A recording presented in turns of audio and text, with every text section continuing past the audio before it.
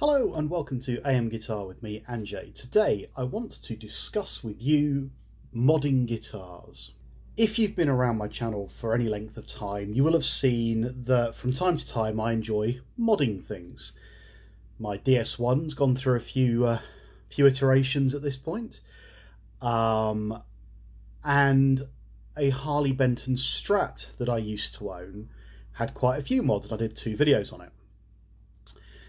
And recently, I have been criticised for modding that guitar.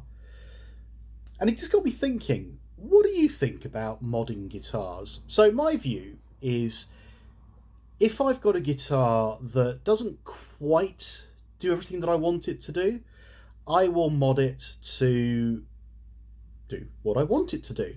So first started when I had when I had my first ever electric guitar, my Charvel reverse dinky. Sorry, Charvette reverse dinky. And I remember, oh, the number of things I did to that. If I could ever find it again, I'd show it to you because it's got so many holes in it where I've changed switches, put things in, put things out, changed pickups, sanded bits off it, stuck things on it. Um, and I've done the same to a few guitars over the years where I've just done things to them that make them sound how I want them to sound or play how I want them to play. Um, so, for instance, my uh, Pioneer 2, Tanglewood Pioneer 2, that had wiring changes to do push-pull pots for uh, split coils.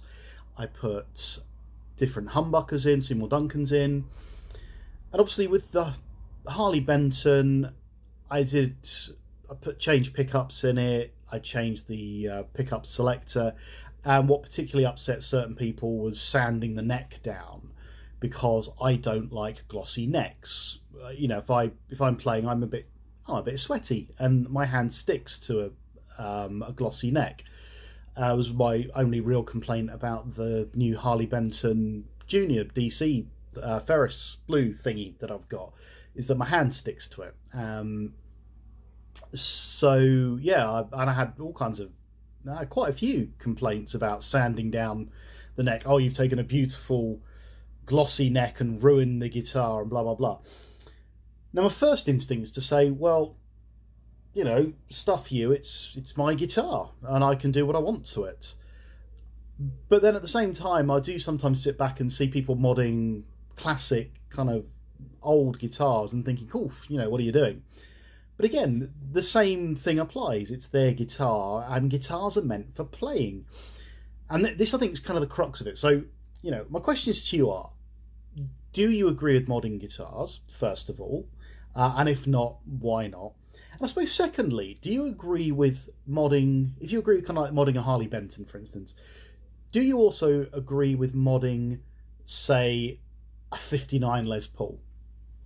Um, or a classic Telecaster or something, you know, would you would you rip the neck pick out uh, pick up out on a 50 year old Telecaster and put a humbucker in, for instance? And if the answer is different for both, why? You know, uh, for me, guitars are for playing. They they are beautiful, beautiful instruments, totally.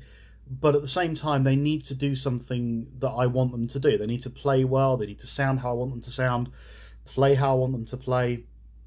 For me, they are tools, beautiful tools, but they are tools. Uh, they're not museum pieces. I don't hang them on my wall as art.